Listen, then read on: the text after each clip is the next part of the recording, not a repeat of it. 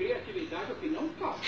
Esse ano, com tanta malandragem na política, os malandros do carnaval se esfaltaram.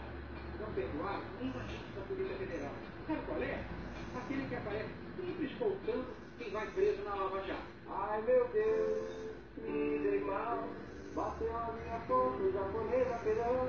A ideia já foi essa, pegar um personagem que, na verdade, era um personagem paralelo a, a todas as ações, né? Mundo mais preocupado com quem estava sendo preso, daí ele no final virou uma, uma virou a figura. Policial federal, né? Nossa, tá bem.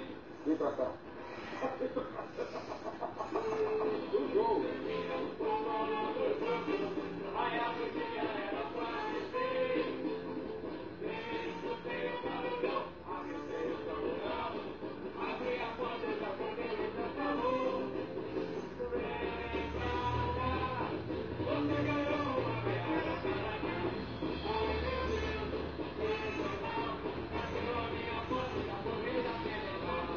De onde veio a inspiração?